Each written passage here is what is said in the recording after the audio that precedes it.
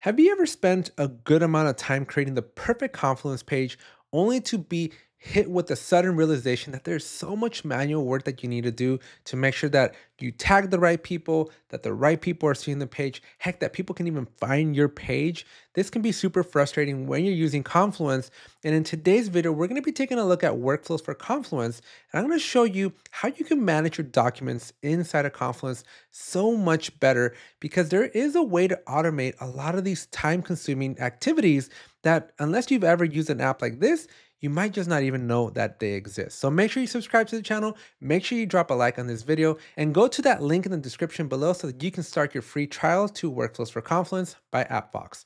Let's go take a look inside of Confluence and let me show you how easy it is to take these time-consuming tasks and automate them with something as genius as is Workflows for Confluence. Let's jump in. All right, so here I am inside of Confluence, and the first thing I'm gonna do before I show you how to use workflows for Confluence is we're gonna do a couple of configurations, and I'm just gonna walk you through a couple of basics. Now, you do need to be a Confluence admin. You're gonna click on the little gear on the right corner. Then on the left-hand side, you wanna look for workflows for Confluence. If you don't see it, check the link in the description so you can start your trial, get it installed, and then come back. All right, so here we are. Assuming you've installed it, we have workflows for Confluence. There's a couple of things that I want you to be aware of. Number one, if you're completely new, they have a little tutorial in their introduction. So go through these steps here. It's just gonna walk you through and give you some awareness of what Workflows for Confluence does. So definitely start here if you're brand new. Now, assuming you're ready to roll up your sleeves and you're ready to start working here, the next place we wanna go to is Workflows over here on the left. Now, once you're in workflows, you're going to see that there's a couple of out of the box workflows, and we're going to be using these in the demonstration today. And as you can see, there's a basic workflow that's a two-step workflow with no approvals, a simple workflow with an approval step, which we're going to be taking a look at today. And there's just a couple of other ones where we can have content that expires, we can have the restriction of pages during the approval process, and we also have a two-stage approval. So as you can see, quite a few approval use cases, but we're gonna be taking a look at these first and second workflows first. Now, even though these are out of the box, even though these work as designed, with the one for approvals, one of the things you may wanna do at the beginning is also set up your approvers. And so you can do that by simply clicking on the three dots over here, the ellipses. You can click on that, we're gonna edit, and when you get to the step where you're actually going to do the approval, which is right here, you can click on that status, come over here to approval, and then you can select your approvers. So you can predetermine who those approvers are. You can add people. You can do whatever you want here, change all these items here. But this is one step that you're going to want to make sure you do before your team goes out and starts making approval workflows because it's going to save you some headaches there. Now, again, there's a lot of out of the box stuff here that's just going to work. We can take a look at the basic one just for fun, just to see what it's doing. And basically, this is just going to give us statuses of our pages. We're going to know when a page is in progress, when it's done. We're going to be able to do things with them, right? And while I'm here, let me kind of introduce you to the next step, which was how do you make your own workflow, right? And so there's a couple of different ways. We can either manipulate one of these existing ones, or you can click on this create button up here, which is just basically going to give you a blank canvas. But let's just focus with one of the existing ones that we have here. I always like to make a copy just so that I always have the original one. And we're gonna start working out of our copy. And so just to kind of show you some of the stuff that's available, we have some triggers here. We have the start, we have some logic. We can look at page statuses. So we can create new statuses. We can add approval states. Um, we can uh, basically create an official version if we wanted to. But we also have a lot of actions. We can set a page restriction. We can send out an email. We can add comments. We can do labels, right? Add watchers, modify the title. I'm not even going to drag the rest on because there's just so much. But as you can see, heck, even sending a Slack message is all possible here. And so there's a lot of really cool things that you can do and basically create the ultimate workflow. Now, this is where you want to read through AppFox's documentation and also be a little creative, right? Because you are going to have a specific business problem that is annoying, right? You're gonna have some frustrations, you're gonna have some some challenges that you're always having to manually do. And now that you can kind of see some of the actions that you can take with workflows for Confluence, then you're gonna be able to start having those Oh, I can automate this, or I can automate that. I can make comments over here. I can set page restrictions based on specific words, right? So there's the possibilities are really endless as far as what you can do here. So definitely experiment with this.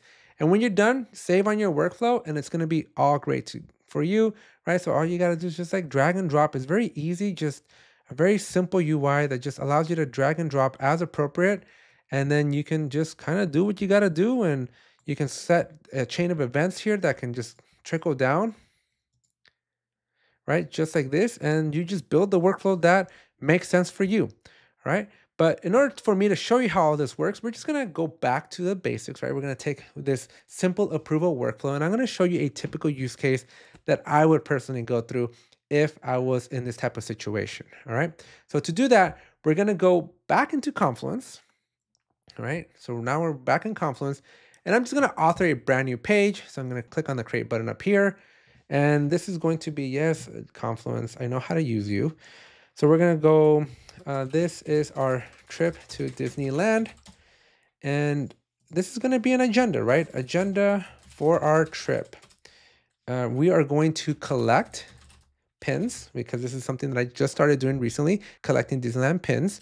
And we're also going to eat a lot of good food. Now, this does get very expensive if you go to Disneyland or to any of the Disney uh, parks. It's pretty expensive and they have a lot of options, right? And so before we do this, right, before I, I go down this endeavor, I want to make sure my wife approves. And luckily for me, my wife is inside of um, my space here. So I'm going to click on publish here because I just made a brand new page, just brand new, right? Nothing special. This is something we're used to doing all the time in Confluence. But zoom in here, right? We're going to zoom in and we're going to take a look at this new button, this new part of the UI that is now available to us because we have workflows for Confluence installed. And we're going to click on this apply workflow. And this is where we're going to be able to select one of the workflows that are defined in that configurations page we took a look at just a few moments ago. So I'm going to click apply workflow and you can click on the one that you made, right? Remember you customized your own, or you can pick from any of the out of the box ones. I'm just gonna pick this simple approval workflow one and that's it. So just select it and that's it. So wait for it to load and now magical things are gonna happen. Because we've already created the page, we're gonna see that we're in progress.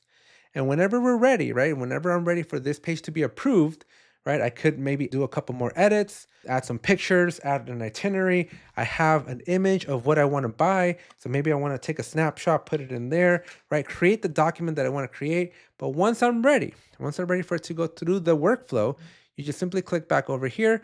And depending on what workflow you selected, what's the next step in the chain, the UI is going to basically show you what's next. So in my particular case, I am in a transition to an approval. And so it's going to go and based on the logic that I put in that workflow, it's going to fire off all these events. And in this particular case, we are waiting for an approval. And my approver is now going to get a notification. They're going to go and they're going to understand what is expected of them. They're going to know that they need to basically approve something and they're going to go do their thing. Okay. And so now the, the responsibility is now on that approver account in this particular case. But whatever workflow you pick, that's kind of what happens. But once they approve, I'm going to actually switch to a different page that I've already pre-approved. Once they approve, you will see that they're approved here. You will, you can click on that. You're going to see that it's approved. You can see uh, more information here to get a little bit more uh, context as to what happened. And you can see that um, my wife approved here, the date that she approved, and the statuses of everything. So you get a lot of good situational awareness of what's going on with your particular page, a lot of metadata, a lot of cool stuff that, again, just in a normal Confluence experience, yeah, you have a little bit of version control, but there's not much beyond that. It's too basic. And this workflows for Confluence really allows you to take your processes that you normally would do with like a sheet of paper and kind of digitalize it, right? Make bring that experience into Confluence. You can do a handoff where people keep the baton going. You can add a lot of steps. Maybe you have a review step that you want to add. Maybe you have a draft and then a peer review and then a code review. Maybe you got designers that you want to make sure designers have a step. So there's a lot of cool things that you can do with this and you're really limited to just your imagination. So I highly encourage you, you go down to that link in the video description and try out workflows for Confluence. There's a lot of different apps out there, but this is one of my favorite ones. It's super easy to use, and I highly recommend that if you're considering doing some sort of a document review process or just a workflow process that you're looking for within Confluence, that you definitely give uh, AppFox a look and try them out. I guarantee you it's going to be a really cool experience.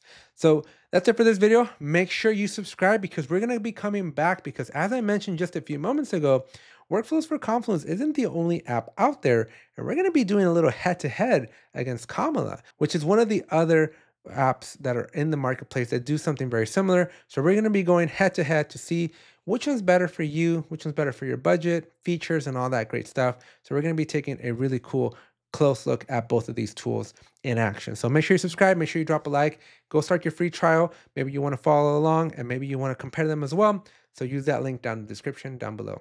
Thanks, and I'll see you in the next one.